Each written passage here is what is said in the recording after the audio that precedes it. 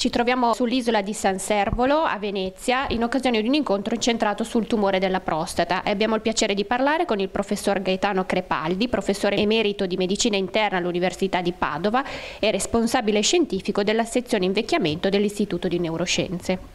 Allora professore, lei qui ha tenuto un'interessante relazione sulla correlazione tra alimentazione e tumori, ma esiste davvero questa correlazione? Sicuramente noi possiamo dire che esiste eh, una percentuale altissima di neoplasie legata all'alimentazione.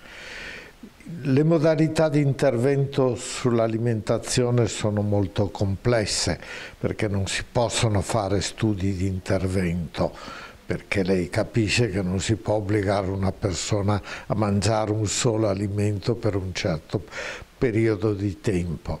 Quindi sono tutti studi osservazionali e si è cercato di vedere, proprio perché diciamo chi abita nel bacino del Mediterraneo e chi si nutrisce eh, utilizzando gli alimenti tipici della dieta mediterranea, si è visto che questa porta a una riduzione della mortalità in generale, della mortalità per vascolo, cardiovascolopatie e si è visto che porta anche a una riduzione della mortalità per tumore.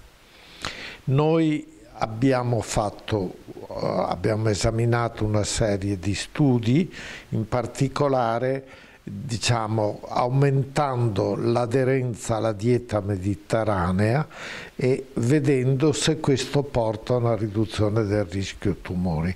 Cosa è emerso da questi studi?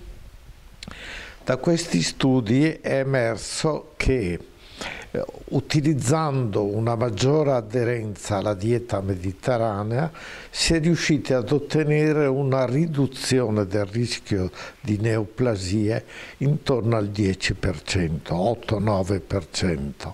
Ecco, questo dato per quanto riguarda il tumore della prostata è anche significativo, se, sia pure però a una percentuale molto inferiore.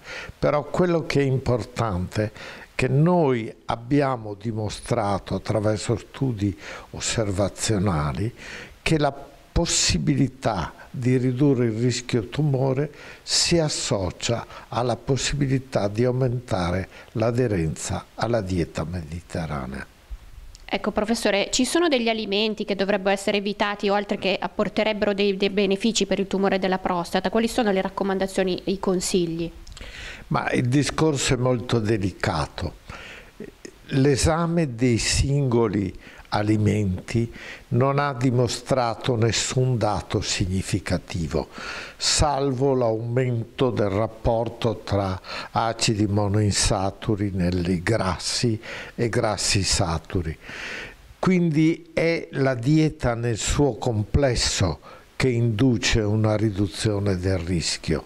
La possibilità che qualche alimento possa contribuire è molto problematica, non esistono studi per alimenti singoli e la possibilità di individuare una riduzione significativa con questo o quell'alimento non è stata evidenziata dagli studi fatti a questo proposito.